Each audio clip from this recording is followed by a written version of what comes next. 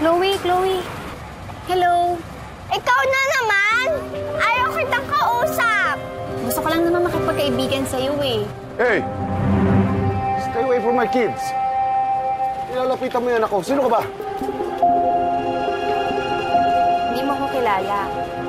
Kung hindi mo ko kilala, marami kang hindi alam tungkol sa asawa mo. Ano yung sabihin? Di ba kailangan mo? Bakit di siya tanungin mo? Alam niya kung anong kailangan ko. I don't care.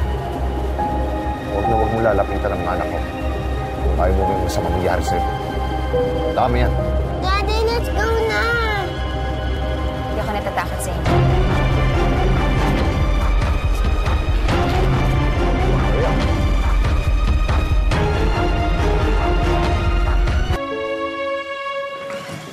Hi, Han.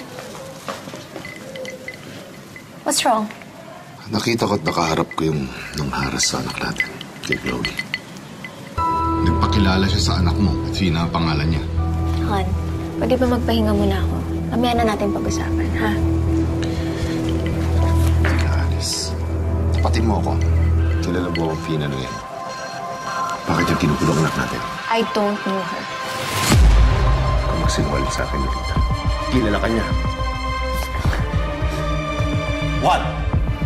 Honestly, I don't know her personally. Ang alam ko, magsasakayan galing Baguio. Lumawas dito sa Maynila, hinahanap yung anak niya. Si Bogs ang may kakilala dyan. Nagsabi daw sa kanya, ituturo niya kung saan yung nawawalan niyang anak. Kilala mo si Bogs, di ba? Namatay na yun. Eh baka nga nasiraan na ng bait yan eh. Baka nga hindi lang si Chloe pinagdidiskitahan niya. Alam mo, magbibihis na ako. Kung gusto mong maniwala sa pinagsasabi ng pina niya yan, bahala ka. Basta sinabi ko na sa'yo, alam ko. Desisyon mo na kung kanino ko mas maniniwala.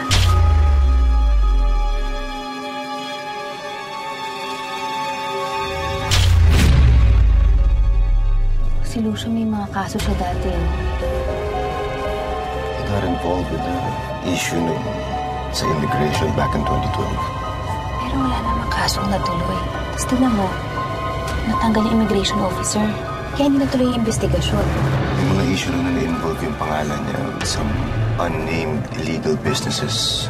But it was never proven true. Mayaman siya. Hindi mahirap sa kanyang lumusot sa batas. Kung sila makakalaban ko sa paghahanap sa anak ko, kailangan kilalanin kong maigi ang Lucio na yan.